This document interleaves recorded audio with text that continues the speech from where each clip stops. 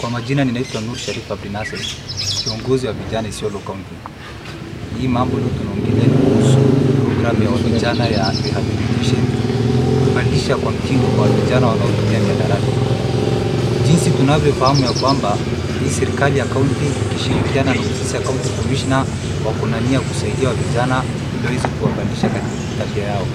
Hiyo vijana, kitu ambayo tunaongelea ni sana sana, kuna aina tofauti ya mihadarati, lakini ile mihadarati ambayo ni hatari na inatuangaisha ni donda sugu katika hii society yetu, na ni mihadarati ambayo imeanza karibuni ikete.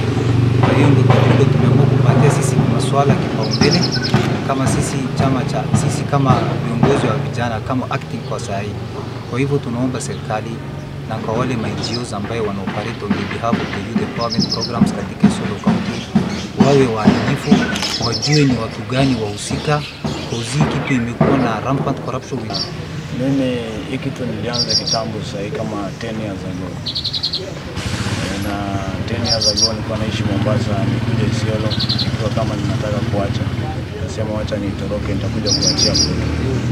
Kufika kwetu nikapata hali ni ile ile kama mahali nimetoroka, na kulingana na hiyo taki ya hiyo kitu ilikuwa venye nime- nimejaribu kujipigania, nimekimbilia kwetu na kwetu iko nilikuwa singeweza kuikontrol kwa sababu bila dawa hakuna venye unaweza kuikontrol, na kama venye ambayo sasa kuko, msituambie ati mnajenga rehabilitation, sijenge rehabilitation hata kama.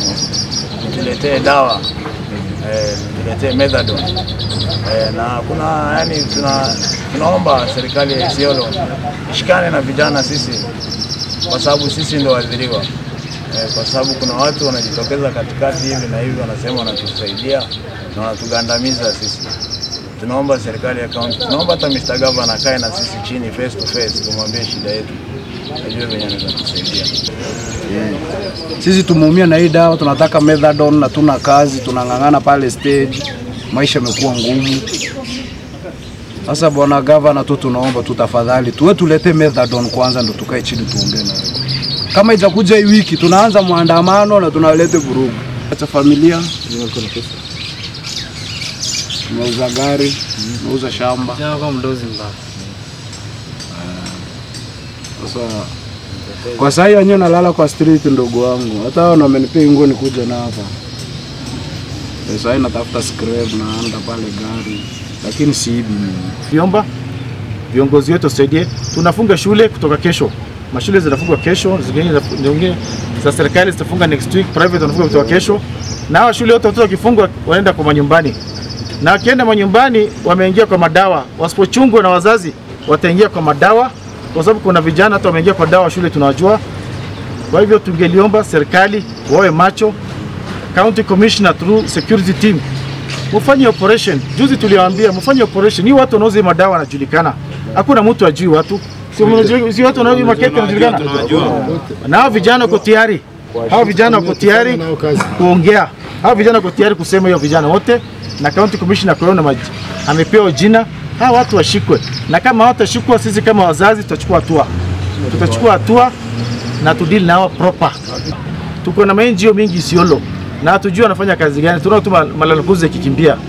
Hawa NGO wanafanya wana, wako hapa through county governor, through governor, kwa sababu kuna ofisi ya governor ambayo iko charge ya NGO. Watoke wasaidie hao vijana, si ati kuna wale ma briefcase NGO wanakuja hapo wanasema wana na drugs, lakini vijana wanaumia. sensitivity patiwe sana hii upande ya kete kwa ajili heroin addiction ni kitu ambaye imeweza kuaffect a lot na ni, ni very expensive kudeal nayo. Hata it is their right to be rehabilitated na ni wajibu ya county government kudili na mambo na rehabilitation. Kwa ajili county government ndio wameachilia hizi malika store ambayo tunaona ziko within the town in operate